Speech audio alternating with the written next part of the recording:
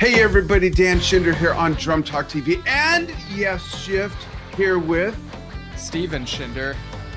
He's the father, I'm the son. Wait, I always mess That's- that up. I'm yeah, the it's father, the other right? way around. Okay. Yeah. I, I'm older. I, I get it. I was going to say.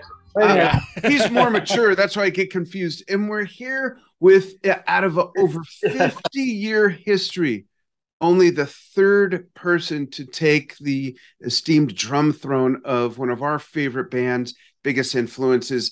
Yes. Welcome, Jay Schellen, who's done so many other things. We're going to talk about that. But, Jay, how are you? How's the tour going? Great. Great to see you. Good to Great see you, to and see you, too. everybody. We, we've been wanting to do this for a long time. I remember when I first started meeting Alan at his house and and just getting friendly with him. He told me about Billy Sherwood, told me about World Trade, and shortly after that, you came along into World Trade. But you've done so many other things, and one of our fans pointed out. In fact, let me grab her name real quick because I want to bring this up right now, not wait for the fan questions. Stephen, maybe you can look for it while I ask. But you go way back with Yes, and and you're we're going to talk about how you met up with Tony Kaye, what that led to. But you're the only Yes member in the band who's played with Peter Banks, Yeah. which is Well- quite interesting. Tony yeah, K. uh, you're right. Yeah, Sanders. when we were doing Thornburg. the- Yeah, I'm sorry. What was that, Steve? Who was it that asked that? Uh, Sanders Thornburg. That's right. Sanders Thornburg threw that in there, and I was like, "Oh yeah, that's Ah, right." So, it's, so it's yeah, a great, it's a great question. Um, when we were doing the 50th anniversary, however, and Tony Kaye was joining us. right. I was K there. Yep. had played with Peter, right? Yeah. And it, it's funny because that's kind of the connection that how it all happened is I was invited to Los Angeles to do a record by a buddy of mine. I was on the road at the time when I was 19 and I came to Los Angeles when I was 20. And that particular artist was managed by Tony Kaye. And I was a huge fan by then. I had Badger, I had all the individual bands, you know, stuff and every, of course, every Yes record and bootleg. Yeah, So I've heard all the same here. mistakes, right? yeah. I learned all the Um, mistakes for sure. I, I know. I Great love at the that. mistakes. And so I found myself just three hours in to California and going to Sound City. And we began working on this record, and it was managed by Tony Kaye. I couldn't believe it. I'm just like, oh, well, this is amazing. And so he found out that I played tennis. And uh, we kind of cut the rehearsal early and we just went to the tennis courts. so, literally, in that first day, That's I- great. working at Sound City and playing tennis with Tony. Did you? and- were you careful not to kick his ass this first time you played him? You don't want to You know, start the I- it didn't- relationship off like that. I know, but it didn't cross my mind because he nailed me on a couple of, you know, I come to the net and he just like passed me with ease. And I'm going, okay, all right. Is it on? And then we've been that way ever since. We get on a great. tennis court and we just, we just tear each other up, man. Yeah. Um, so that they asked me to join Badfinger Mhm. and with Joey and Tommy and Tony. Right. And so I was pr- playing with those guys as well. And this club called the Central it was run by English roadies. Now it's the Viper Room. Yep.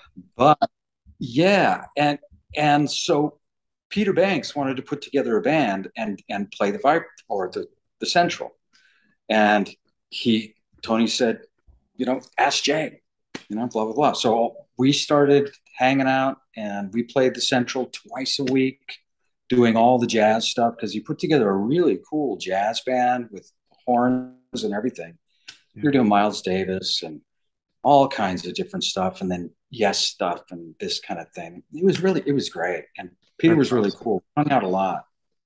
That's Yeah. awesome. Yeah. So Amazing. then, so looking into Badfinger um, a little while back, uh, I saw that the lineup you were part of might have been after the Say No More album. Were there Yeah. any studio recordings? I remember reading something about that, but what happened with all Yeah. that? That's a good question, and something is going to happen, according to Tony. Oh wow! Yeah, because we did a we did a recording uh, in Beverly Hills, you know, and so it's out there. There was some really nice stuff, and it's the last stuff that that Tommy and Joey played together, and the last stuff that Tommy has recorded. And this was in the early '80s. Yes, this must have been maybe 80, 82, I two. think. Yeah, Mhm, 82. interesting. right. Very interesting. Cool. Um, as a drummer, I, I've got all kinds of questions, and Steve's got questions, and we've got fan questions. We'll we'll cram as much as we can into a shortish amount of time because, folks, Jay's going to take us out onto the stage, and Wi-Fi pro- prohibiting or not prohibiting, allowing, he's going to give us a tour of the stage, but mainly his kit.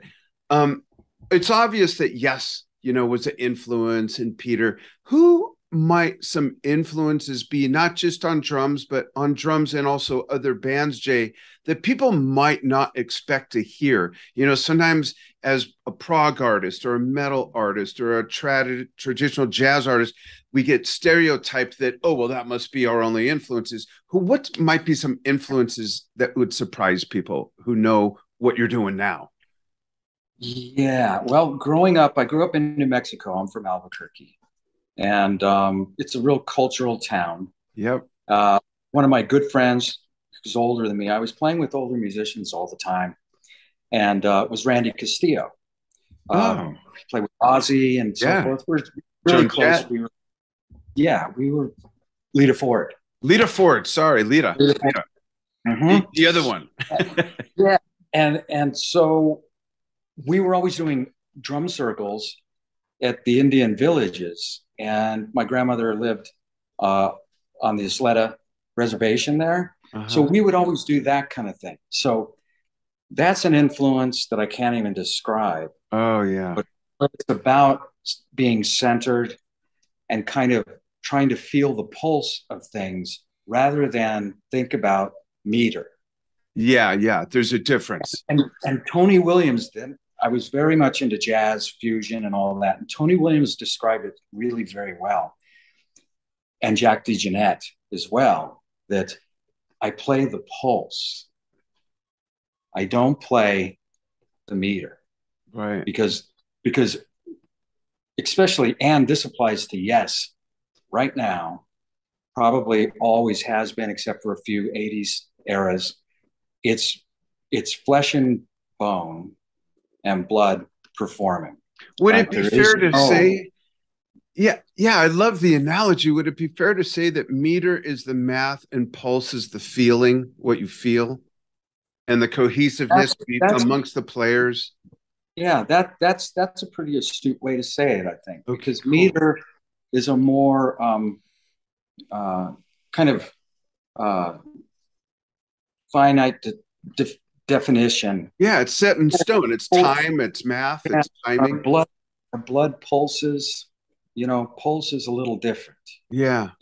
there's movement there so that so that's the idea so i i i played a lot of jazz a lot of jazz fusion uh, my first instrument just like alan was piano Mm. that was my classical piano for years and years but i walked through the drum store to get to my piano lessons oh, that's there you uh, go the bug was there waiting to bite you. yeah there's shiny objects i couldn't get past them you know I mean? but um, yeah, so a lot of jazz fusion, Mahavishnu Orchestra, Return to Forever. Um, Oh. I love David Sanchez band. You know, I I got into um, a lot of my dad's old jazz records that featured DeJohnette, Dave Tough, um, and I loved um, all of the Tony Williams stuff, Billy Cobham's things, Mahavishnu Orchestra. This was kind of my world in a way, but prior to all of that maturity, I was into um, Herman's Hermits, Oh, the Monkees, the Beatles, of Uh-huh. course, right? Yeah. Huge. right. And Three Dog Night. I thought Floyd Sneed was Oh, killer, he's great. right? Yeah. And and then Led Zeppelin came out. Yeah, we've heard And- of them. Yeah, exactly. And you want to talk about, you know, getting the blood moving, right? That Yeah. that that changed a lot of things. So I started really feeling this this and that was very organic too, right? Blues, but played with something else that I hadn't heard yet. And mix all that in with the jazz and the whole business and all this stuff. I just had this feeling. And these older musicians that I would play with, they taught me how to listen and jam. We would jam on Steely Dan stuff. We would jam on Allman Brothers things. We never left a song alone.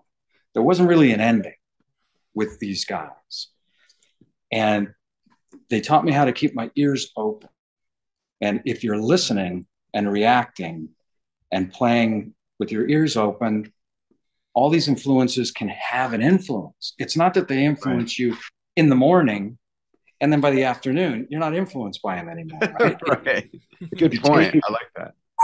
and then you you know you let it out right and that continued on because through that combination i mean that's the definition of yes really it's it's progressive it's rock it's organic Mm. And i and i loved it i it, so i was a bruford fan definitely those early records that was a thing right and Yeah. then but when yes songs came out the same thing happened to me that happened with John Bonham. I heard Alan, who didn't have much time to pick up all this material, and you can tell by the way he refined it over the years. But Yes songs had that raw, pure energy, Oh Yeah. and it was visceral, man. I mean, Yeah. we, I, that changed everything for me. That was like it, right? There was my guy, kind Yeah. of thing. And even though I'm influenced by so many others, you know, and and I've been so fortunate through my great friends at Zildjian and um, Remo is to do different shows and clinics and gatherings with you know my my heroes, you know, Yeah. Louie Bellson and, and you know just all these different people, and it's it's an amazing, beautiful thing. But through it all,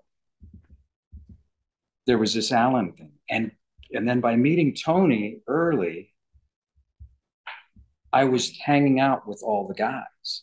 Mhm. And um, then in Badfinger, he went over to do 90125, and we were taking a break. Tommy went back to England, and then I went on the road with Danny Johnson and the Bandits, and we were opening for ZZ Top on the Eliminator tour, so couldn't pass that up. right. Huge tour. Um, yeah, and so we would just all kind of be together at the Central too, because it was an English roadie bar. And one time, King Crimson was in town, and Bill was playing across the street, and we all came over afterwards. And this particular place, the Central, I mean, I'm a 20 year old, 21 year old, and in a booth in the corner every night is like John Mayall, members of Elton John's band, Dudley Moore. I mean, Yeah. just the English folks, right? Yeah. So it was a particularly crazy night that night. The King Crimson was there, and Chris was there, and Alan was there, and it was just like, wow, this is awesome. And I was the house drummer. Oh, wow. Bank. And then also I played on Bob and Keith's Tuesday night jam night, so I just would stay up there. Yeah. Okay, who's coming in? You know, Yeah. and I got to play with so many great people. Some of the ones I just mentioned, you know, Robben Ford and John Mayall and all that stuff. Um, and and I won't go into details, but I was cajoled to go in the back room with a very pretty girl. and so I was kind of neglecting my my stage duties, and I'm in the back, and all of a sudden I hear, "Where's that drummer?" Right? and anyway, so I go, "Oh man, I gotta go," and Chris comes through the door, you know, big as life, Yeah. and he and throws me over his shoulder. And he marches me out there, and I'm on his shoulder like that, and everybody's going, Oh my gosh. stage, right? So crazy stuff like that was going on so much back then. And so the influences continue. definitely with Terry Bozzio, of course. I mean, UK and Yeah. even before that, all the Zappa work, everything. I mean, I, I that's one of the ones that goes back Yeah. with the Motley and all that kind of thing. Um, Simon Phillips, very much so too, was work with Jeff Beck, so on and so forth. Because I was really uh, um, intrigued by the, the rhythm patterns that could be created using ghost strokes. Yeah. You know, Bruford started that in my head, and then you pick up on it, and then Mhm. but then there's a visceral thing about Terry Bozzio's rhythm, which is very organic, and that's when I started thinking. If you watch a drummer's body language, he will tell you where his music and his beat is coming from. I love that. Yeah. because Terry would lean in and just, you know, he had this thing going, and you could feel it in his the, because the separation between the kick drum and the snare drum is everything. Yeah. Mm. If it's dead center, that's one thing, but you move the kick a little bit, leave the snare where it is. Now you've lengthened the snare note to the back of the kick, right? If you move them both, then you're just playing behind the beat Yeah. leave the kick there and you move the snare back very west coast, right? Then you've shortened the distance. Yeah. Hang in So- front of it. Yeah, so there's a different, it gives a pulse thing. And the body, that's kind of how you end up doing that naturally, is in your body motion, digging. And Alan, Oh yeah. Yeah. right? So there's a lot to do with that. There's very much to do with that. So even their body language was influencing me and everything. And I would just take all that and developing my own voice, which was just like a gumbo. That's cool. No. We So- uh oh go ahead, Steve. Oh, I was just gonna say. So the central is where you were able to play with Peter Banks, right? Mm-hmm. Well, how was that? It was great. He was a really very free and easy player. Very um oh, how would you say? Uh kind of sparky. Mm. He would just get up there and he would just energize and just Yeah. go. And it, it was a lot of fun. And we hung out after every show at his apartment, hanging out there. And because I had just kind of gotten to town and and uh, the band was was really good, really tight, and we were doing a lot of crazy things. And in the afternoon or in that evening, we would discuss what he wanted to do the next day, and it would sometimes be off the wall. It'd be like a really kind of new version of a Miles Davis tune or something. Like that. I Mm. said, "Well, you better let the horn, Scott, the horn player, know because he's going to have a heck of a time." He goes, "No, well, we're going to do it. We're going to do it." So it was really spontaneous. And yet, again, you had to use your ears. Yeah. And I had my cheat sheets. You know, it looked like I was throwing napkins on, on the floor right. all cheat sheets. And we would just play and play and play. And I, I got so much work out of those performances. I was doing lots of records and sessions and all these different things. It was That's just great. fortunate. I mean, to this day, I'm just so grateful. Yeah.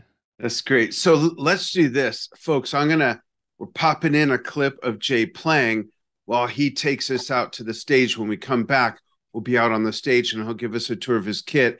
Then Steve's gonna ask another career question that's more contemporary for Jay, and we'll read some some fan questions too. So check out this clip of Jay.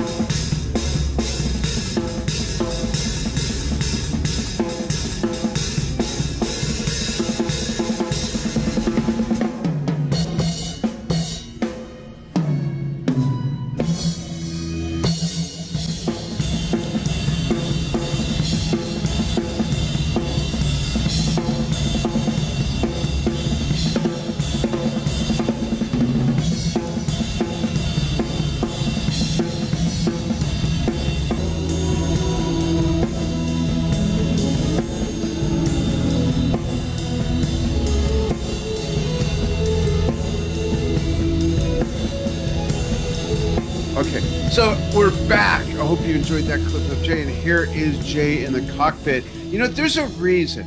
There's a reason why piano players are on a bench and guitar players sometimes sit down on a chair or a stool. Drummers are on the throne because they are truly the kings and queens of what drives a band, right, Jay? I agree, man. That that's it. We were banging on the logs and and and we were the communicators. Exactly. You know, Other than the voice, we were the first instrument, you know? Absolutely. Yeah.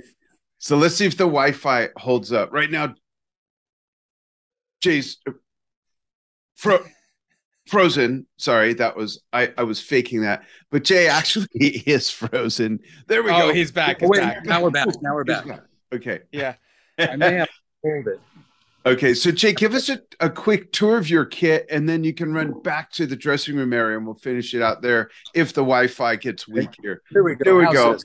Nice. Go yeah, it looks great. ask you a couple questions. Anything you want, right? Here. Yeah, looks like yeah. Looks like the ride cymbals and a custom is the whole setup that same series, or do you mix and match a bit? I've got K's. I've got a lot of dark K crashes. I like those a lot. Um, I use these effect cymbals. Yep, I love those. Yeah, I have fun spinning nice. them during the show, and everybody kind of goes, "Wow, that's what is that?" Um, this is, and I like ping rides. It's nice. an A custom ping, um, but you can see the crashes pretty much. oh, dark. hammered, hammered dark K, yeah, yeah, which I love them because that's the other thing um, that I keep getting messages. So yeah, here's more effect cymbals. And this is interesting. For and you and I, I play a physical crotale.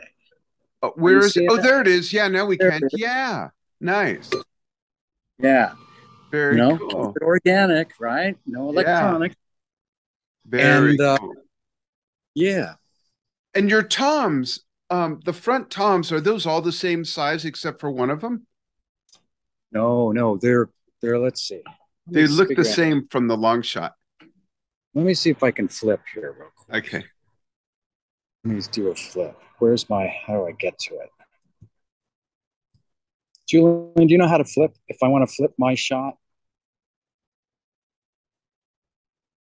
It should be a camera icon with like circular arrows. Need to flip mine. Okay, there it is. Ah, there we see? go. He's a Julian extraordinaire. He's the man. Cool. Okay so much easier. Yeah, and if you turn so it if you turn it horizontally, we'll get more in the view. There you go. Yeah. Yeah, there we go. Okay. So no, they're all different sizes. Oh, okay. Eight eight inch. Uh-huh. Right. 10 mm-hmm. 12, 14, but it's a square drum that John Good made for me. So it's a little, nice. it's not quite as deep. Yeah. So it's 14 by 14, which sounds really tight, really cool. Yeah. That's cool. Then 16 and an 18. Nice. And the kick is a 22. Cool. Uh, 9,000 pedals, mm-hmm. double pedals. And uh, yeah, the, awesome. For, for Relayer next year, we're going to get into some more adding on to the kit. um, Because we had planned to to do this together, Alan and I, and and I designed a double drum riser. Oh wow! Well, that we could share, um, and then we could. It rotated, so at times there would be uh, his set featured, then it rotated a little bit, then there'd be my set featured, and oh, then cool. it, you then then you could center it and then we both were just slightly off angle of each other and we both were going to play relayer right? You know right. gates delirium and all of the stuff. So there's awesome. a front. Yeah and beautiful. so we're going to add some stuff into some different areas on the set for that year. It'll be a lot of fun. That's cool. What is your snare jay? Is it nickel on chrome or it was hard to tell yeah, basically, I have two, and uh, one is when I when I was performing with Alan. there was a, a big difference. This this is my DW version, Oh, and it is it's solid copper, oh, nice. and it's amazing. It sounds unreal. And when I would perform with Alan, what we were looking for is something that didn't change in volume too much. Yeah, Uh, also kept the the consistency of sound, you know. yeah. And it just so happened that in my years early on, I wanted that Alan White's, you know, sound, right? yeah. So what what did I have in my closet? It's a Ludwig. It's a 1973 Ludwig hand hammered Wow. That's amazing. snare. So it was almost identical, although I got to say, Alan has one of the most unique snares on the planet. Yeah. It is Yeah. incredible. Can you show me how to flip that again? And I'll talk to you guys. Yeah. Let's see. Is it flipped again? Yep. Okay. There we go. Okay. Awesome. Thanks for that tour. Yeah. Yeah. So that snare was really, really special. And this one seemed to match it just perfectly. And Cool. we're, we, we've integrated, you know, the, the DW snare now. Yeah. And the heads are clear Remo ambassadors on top and bottom, or are they emperors? Uh, Ambassador bottom, Emperor top. Got it. Um, Very cool. I would love to use ambassadors. Uh, they would sound so crisp and expressive, but they would last one show. Yeah. Yeah. That would be I single did. fly. Yeah, and and uh, the Remo Emperors are the go-to. We just Yeah. love them to death. Just love them. I have the uh, on my big kit, which is a big progressive kit. I have the color tone heads, and they are basically um, the ambassadors, but colored, you know, or emperors rather, and and they sound great. And I don't have bottom. I haven't had bottom head since 1983. I just really? yeah, I just love that open breathing sound. They just sound so good. Yeah, Phil love it. Collins. That's Phil Collins. baby. Yeah. he was another big influence. Yeah, Brand X, Genesis. Oh man, all that. Yeah. even Huge. back in the day um carl palmer didn't have bottom heads and Yep. uh when when alan in the tormato tour um had the some north drums mixed in North drum. You know same thing with billy cobham he had the clear fibes kit with the big couple north drums um Yep. neil peart had a bunch of concert toms with it you know it's very old school but i just love the sound and it works it works so my old guy old school what can i tell you Yeah, yeah. I'm with you on that all the way. yeah, and this is working. So we'll stay right here. And Steve's going to move the conversation to a more contemporary career question for you. Then we'll read a few fan questions and get you done in time for the line check. Okay. Yeah, so uh, I have a couple at the moment. Uh, one of them, um, we recently watched that video of the Alan White tribute uh, concert in Seattle. So what was Yeah. it like getting all that together and the set list? Like, is there any like behind the scenes stuff you can share? Well, um, we we were finishing our tour of Japan Right. just prior to that, so we literally had two weeks maximum to finalize what we had been discussing in the weeks prior to us leaving to Japan, and there was so much to get worked out there, and I got to give everybody a whole lot of credit. And Alan's wife Gigi did so so much. She she put Yeah. so much love and her heart and soul into that, and it, it was a lot of work. And everybody came together, and whatever we needed to do, we were going to get done. You know what I mean? Yeah. And that was the spirit, and the spirit was so strong. And I really enjoyed playing with the White Band uh, the day before at the Salmon Days Festival. Oh, yeah, And that's this- right. Yeah, and and that that was it was just great. I mean, you could just even even in the UK and Japan this year, where we were honoring Alan and playing the memorial, you know, footage. you know, that Yeah. It the room was filled with love and warmth and just the greatest vibes you could ever play a note of music in. You know, That's awesome. it's uh, yeah, it's like stepping into your grandmother's arms or something. You know what I mean? It was just Yeah. it's just love everywhere, right? I was going to say that totally reflects him, you know, because that's just the kind of guy you exactly, were. exactly, and the same at Seattle. It was it was just a lot of love, you know. And I Yeah. mean, there was there was moments that were very lovely and difficult. One in particular was when Imagine was coming up, and uh, Michael DeRosier had been on this, the set that I was using, um, or I would I was going to be using, and Michael's a really tall guy, so I had to do a little bit of you know, adjust. Yeah. And behind me was John Lennon and a lot of footage of those sessions and such and this and that. And then it finished up with a close up of a very young Alan. Was right, right there behind me. And I was kind of starting to to lose it just a little bit. And then the opening notes of Imagine began.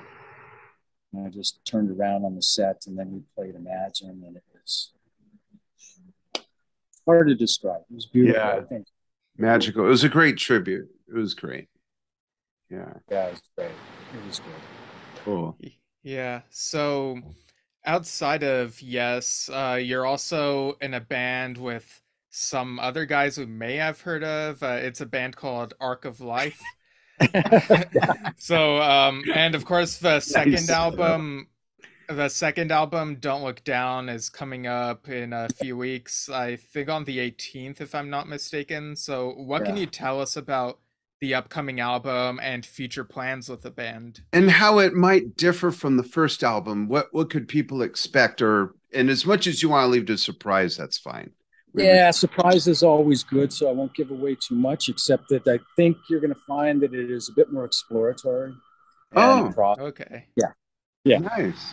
that's where our roots are, and you know, it's, Yeah. it's kind of what what's coming out at, at the at the moment, you know, and And will you guys tour? Well, it's it's something that's always on our mind and in the, the realm of possibility, but yes, it's very busy, you know, especially with Relayer Right. coming up and that kind of thing, but Yeah. um, there is possibilities, you know, Cool. maybe getting together with some of our other prog band friends, and you know, and Billy's playing and uh, in uh, Asia, of course. Yeah. yeah. So they've got plans, etc. So for now, I think it's always on our mind if we find an opportunity. So we would hope Cool. to. We would love to do it. Yeah. Something to consider, if I may throw something in the imaginary suggestion box. With Mhm. everybody's such busy and staggered schedules that are probably a lot like a checkerboard, perhaps you guys could plan one or two, you know, a few months apart live stream concerts where maybe there's a few, you do it at a venue where it's easy to get a few people there, but make it a, a live stream thing so people can still experience you guys performing together without worrying about a crazy tour schedule. Yeah, that's so funny. I was just talking about that with uh, the nice gentleman that drove me here. Oh wow I mean- The way it's going, I mean, because after being in Vegas with raiding the vault so long, yeah, the audience the audience comes to you, right? right.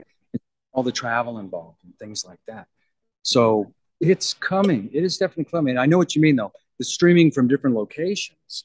Yeah. That, I mean, during the the great pause, yeah. people were experimenting with that. There was a lag issue to a certain degree, especially with volume kind of instruments and trying to give a real cohesive performance. Yeah. Um, but it's coming, right? Yeah. Coming. couple And of- I would love to see that. And a couple of the quick things I don't want to forget about or leave untouched before we, if there's time to go to fan uh, questions, is Yeah. two things. One, talk about raiding the Rock Vault, and then tell everyone a bit about your book as well and where they can get that. Okay, sure. Well, Raiding the Rock Vault um, was a production. It was written by John Payne Mhm. from uh, and David Kershenbaum, Grammy Award winning writer and producer. So it began off the script. I won't go into it too graphically, I guess, but it was a very involved thing of we had messed up our planet. We wanted to send our culture and our beloved items off to other planets. And if we get our stuff together, we'll go back and get them someday. You know what I mean? Kind of like we're squirrels. we're basically yeah. interstellar right. stellar squirrels. Okay. So that was a rock vault that got shot off. Mm-hmm. And then later we did get ourselves together and we went and rediscovered the rock vault. And when it opened, that was the show. That's so, so we, went, cool. we went from the 60s all the way through the 80s and stopping at the at the 90s. And it was an all-star band, Hall of Famers, platinum artists, everything. And yeah. um, uh, it was an amazing show. It was at the LVH, the International. Mm-hmm. The yeah, big, that. big one, right? Oh, yeah. Three thousand rooms, the Rat Pack, the whole. That was where Elvis did his. Yeah, that's his Bobby thing. Morris, the drummer. Bobby Morris for Elvis was his uh, musical director there for ten years. Yeah, yeah. legendary place. You got a picture of Bobby. I have it right here. Bobby gave me this. He was one of my first Drum Talk TV interviews. Mm. Oh yeah, there's the dude. Look at him. Yeah, yeah. look at the oh, look at the two of them. Yeah. Yeah. Back in you the got, day, the Las yeah. Vegas Hilton. Yeah. How do you so, get how do you get rid of a venue like that? I know. or even rename it. It's just I know it's it, crazy. It gets, it gets, sold and it changes, and you know. Yeah, it, some things need to be left alone. You know. I agree. I yeah. agree. That um, sounds like it was a fun gig, though. It was an amazing show. It was amazing. There was lasers, dancers, actors, everything, and an extreme band of the most amazing singers and everything. And we were just having a ball. Audience would come to us. It was great. We we did the uh, LVH, then we bounced over to the Tropicana, then we bounced over to the Hard Rock, and now it's still playing at the Rio. Yeah. Um, in different form, it has had to kind of scale down a little bit from the big old, you know, days. Pause. So, yeah. yeah. Um, but some of the best times, some of the best times ever, and it's, it's true for all of us. You know, That's great. Time there. And, yeah. and talk about your book, your unique book that talks about some unique techniques for drummers. Yeah. Um, this uh, is a technique that when I was uh, about 16, I worked in uh, Lucchetti Drum and Guitar Shop. And we had some great clin- clinicians come through and this and that. And I got to meet them all. And I get a lesson from all of them, you know, Louie Bellson and, and uh, Billy Cobham and uh, uh, Buddy Rich, uh, Ed Shaughnessy. Oh, wow. You know, I mean, just all kinds. And I learned so much from all these guys. And Alan Dawson, was a drummer, jazz drummer that taught at uh, Berklee School of Music. Mm-hmm. He came through, and I set up his kit and did everything, and I got my lesson right. But what I had noticed when he was playing is that he had a left foot that was doing something amazing to me, because no matter what he was doing, this left foot was just like it was on automatic. I was thinking, what is going on? And so he he said, I'm going to show you, and it's going to change your life, basically, right? Um, so, not to get in too much detail or lengthy detail, the idea is, Julian, can you flip this? Is it okay if I flip this and I'll show yeah, you a couple? Absolutely, sure. sure. Yeah. I see. You go to that. I got you. Okay. Cool. So the idea is is for a drummer to have a solid seat, right? So that you you can engage your core and feel centered. Yeah. Low. So you you you feel solid, solid, right? Um, so some drummers will bounce. Yeah. Um, if if you're on a stool like this and you lift this foot off the ground, you you you lose balance, right? Mm-hmm. One foot's coming off the ground. So here I am centered, lift this foot off, and so now you have to compensate. And then you're playing the kick drum with the other. So there's a slight state of imbalance. You know, you're kind of right. have things on the ground at and off the ground sometimes at the same time. So the rocking mm-hmm. motion is basically a motion that will give you a quarter note sound if you want it, but your your foot is in an eighth note motion, so you're higher up the denominations. Oh, right. And you can control volume just by how you do it. You can move back for another check, right? So that's interesting. If, if you were going to play your ride with it, if you just you play all eight notes, right? Yeah. And then if you feel like changing it and you want to put it on the end, it's so very simple. Heel down first.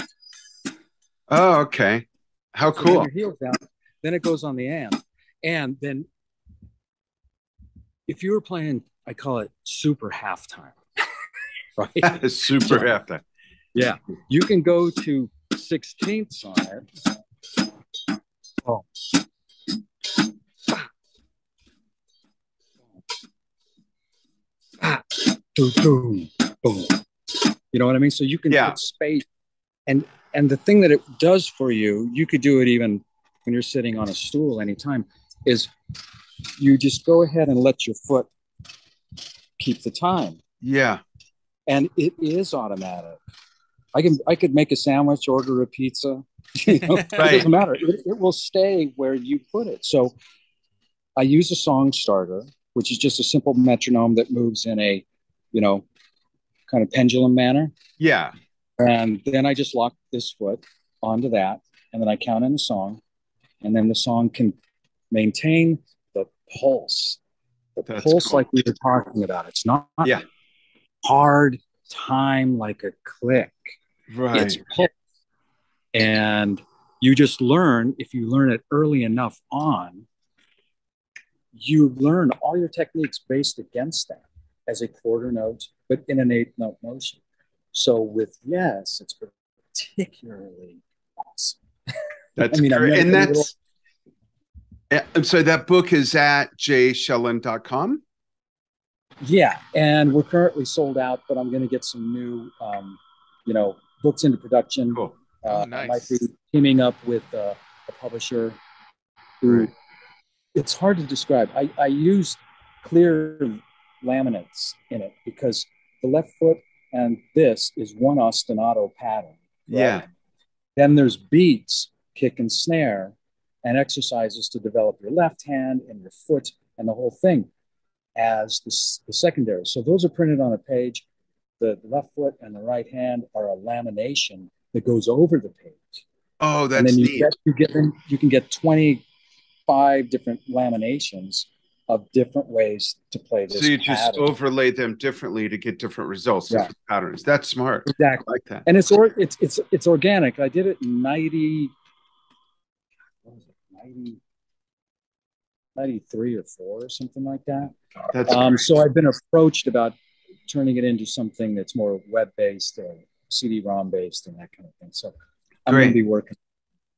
Nice. For sure.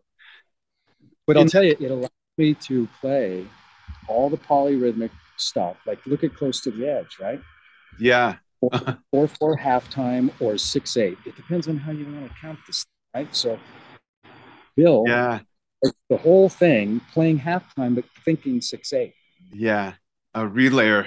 Uh, Gates Delirium. I think of another one with that. You know, yeah. dun, dun, dun, dun, dun, dun, dun, dun, dun, dun, dun, dun, dun, you know, all those different polyrhythmic yeah. parts. Yeah, that's so cool.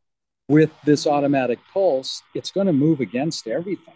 Right. And if you're comfortable feeling a bar of two, you know, basically, because it's one, two, one, two, really flowing through all the eights of six eights and seven eights and 13 eights divided and subdivided, right? And, and I can see how that would naturally improve someone's timing as well. You know, there's no way it won't. Yeah yeah you're smooth. You know you can you can navigate complex corners and all this stuff.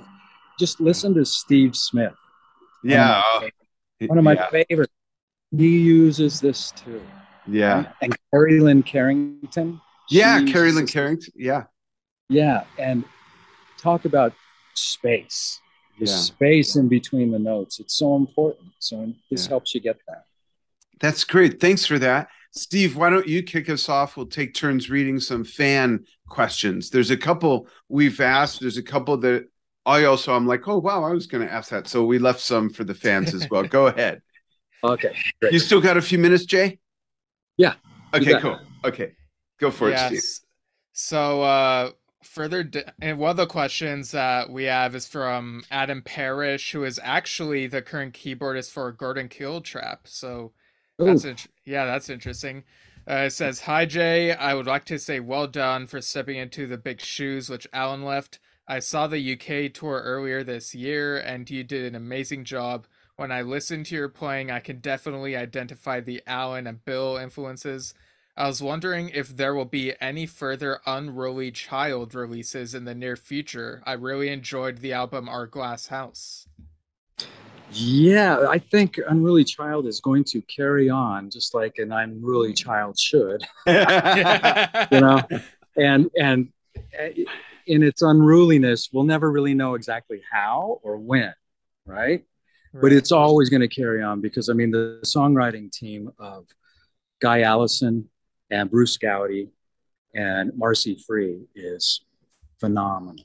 You know, so those songs, you know, I'll I'll hop in any possible time I can do. It. So I would just Very say Unruly Child, gonna just live on. For sure. Here's a question I love that I was gonna ask. This is from fan uh, Gina Casulo. And she says, and I, I know there's 10 answers for this, Jay, but see how, how take the challenge of let's see how much you can narrow it down. So if you need to think for a moment, that's cool. Does Jay have a favorite song he likes to play live with? Yes. And is there a particular song that he'd love to play live that he hasn't yet? Ah. And then I'm going to add to that question after you answer. I can do that. I can okay. do that right now.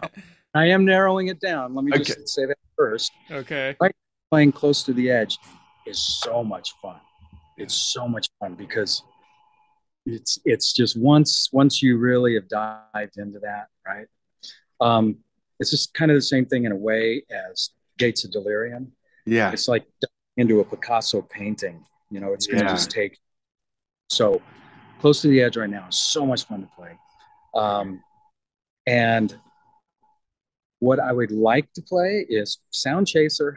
it's yes. coming up. It's coming Great. Up. We, That's awesome. We had the whole tour down and then the pandemic hit because we would have been playing it in 2020. Yeah. So I'm looking forward to going back to that. Just, cool. Yeah. So I'm going to add to that question. And there's two ways you can two ways you can answer it, one or the other. So is there a song that you would love to play that yes has either never played live or haven't played in a very long time. So what comes well, to mind, you know, things so like from Sound, Chase, Sound Chaser falls in that category. Yeah, right. yeah, it does. haven't done that like long, long time. But uh,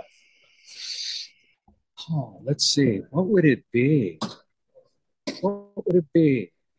I mean, Steve keeps threatening to, to bring out five percent of nothing. Oh, really? That's yeah. funny. Um, uh, wow. Let's see. What haven't we done? I, I, would like, like, to do. I would like to do the other sides of topographic. Yeah. Oh, I love we've that. Done, we've done ritual and we've done revealing. Just so you know, not... correct answer. you bet. I would love to, and and we've talked about it. I think that could be coming. That's great. And and, and me also. Whole, this... Yeah. Oh, go ahead. Uh, I was just gonna say, me also being a fellow Yes bootleg collector since I was twelve or fourteen, I have the original all of the Tales concert where they they also only played close to the edge and then roundabout. I have that. I've I've got everything from like 1974 forward, I believe, or 73 forward. Yeah. Yep. Mm-hmm. That that's I've got some deep, I've got some deep stories I'll tell you guys privately. I don't know if it's for all of this, but yeah, well, we could always do this again. You know, this is an open yeah. door. Yeah. Yeah. Steve, yeah. yeah. Why don't you give us another fan question for Jay Steve? Yeah, Stephen Sullivan asks um about would like details on how you learned the tracks on Relayer and if you also had any advice from Alan uh, on that or isolating bits from the 5.1 mix or just listening to the record over and over like in the old days? Like how do you approach Relayer?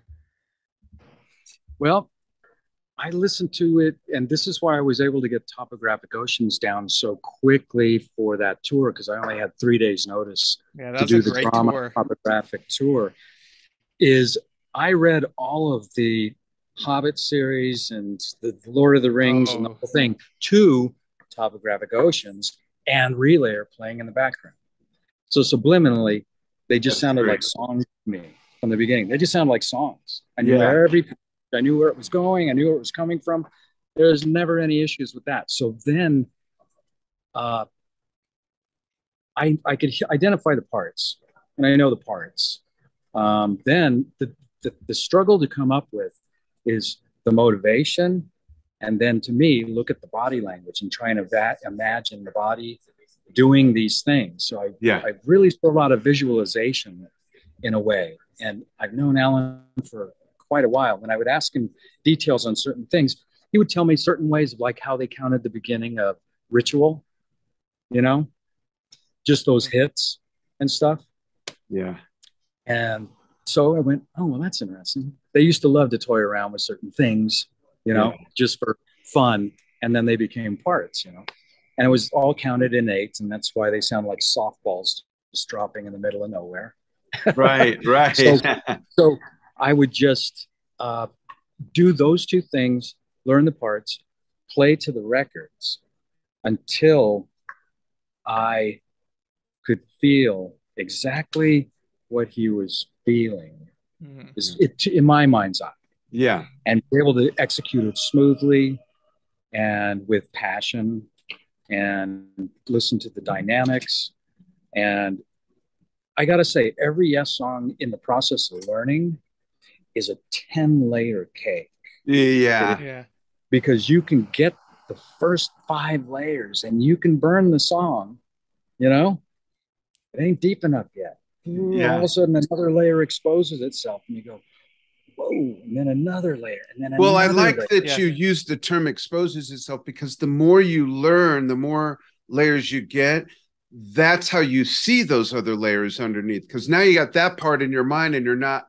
It's not. Yeah. clou- Those other parts aren't clouded by that because now you got that. It's a really interesting Yeah. process. and that Yeah, I, I, mean there there's a reason it's called relayer, right? yeah yeah, yeah and you know i mean this is why this music i believe is always going to live in the minds and hearts of so many people because it's got those layers yeah. and you can you can spend like years analyzing one song. Yeah. and- and where it came from to how it was recorded to then how it was performed and then how did they live perform Mm. it's Yeah. all it's all this this this amazing thing Yeah, it's like a living, breathing organism when you put it that way. You know, the studio version, the live version, which tour of the live version, you know, all these different, those are additional layers, you know.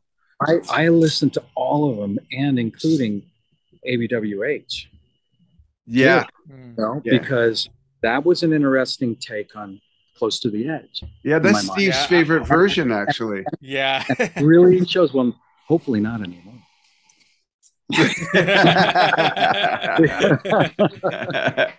but yeah i listened to all that stuff and it all goes in there and then more layers are exposed and then pretty soon boy you're down to it and that's that's a great place to be but it doesn't happen quickly cool. We'll we'll take one more question. I'll pick one more. All right. Um, how about let's go with let me just scan these real quick.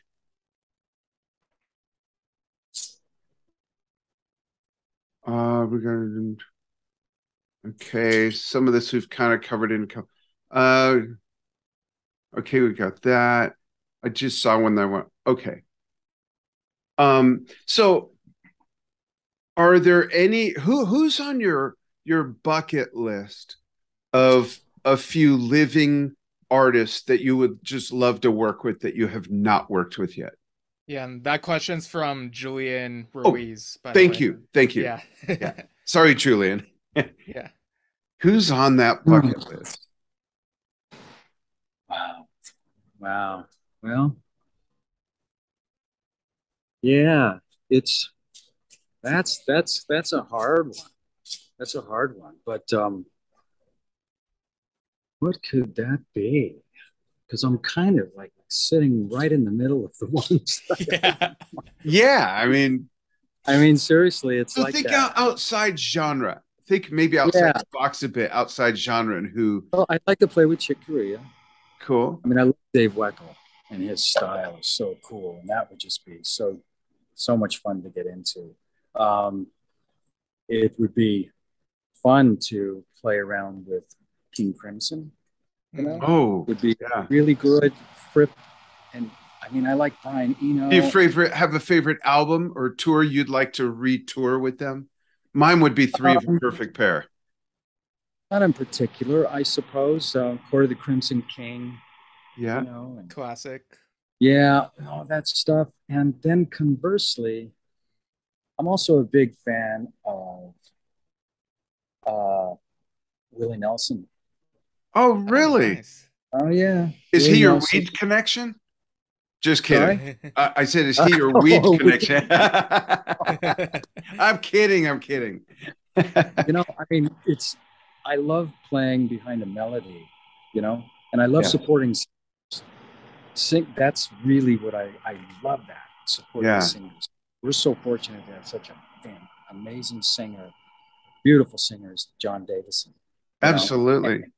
And amongst the complexity of all of this, I'm still thinking of supporting and and giving the singer the the, the, Yeah. the support for all the majesty possible, right?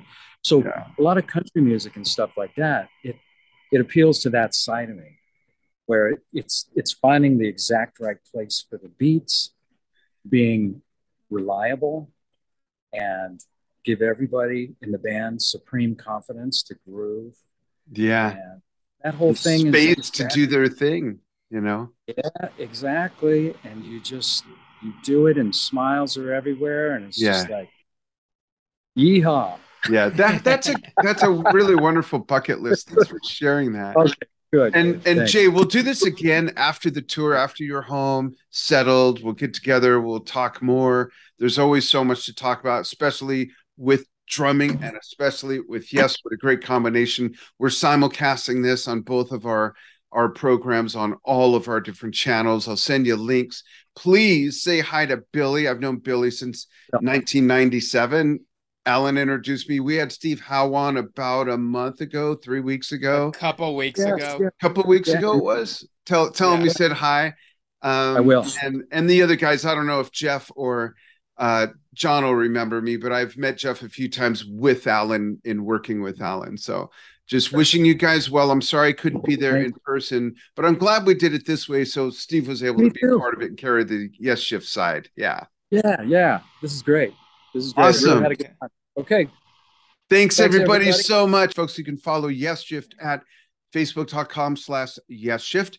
You can write us with ideas or or love mail, hate mail, whatever at Yes Shift Podcast at gmail.com. Follow us the audio version on anchor.fm and find us on YouTube at youtube.com slash is it Uh, Yes wait, Shift? Yes, not not yet. Just search Yes Shift on YouTube. Okay, just search Yes. Shift. I'll, I'll And figure Drum that out. and Drum Talk TV is like a giant amoeba blob. We're everywhere. Over a million fans on Facebook.com slash Yes Shift. Find us on YouTube, Instagram, Twitter, and Vimeo, and a new platform, TikTok, and another new platform soon to come that'll blow your your minds, folks. Yeah, I couldn't even get out. Thanks, everybody.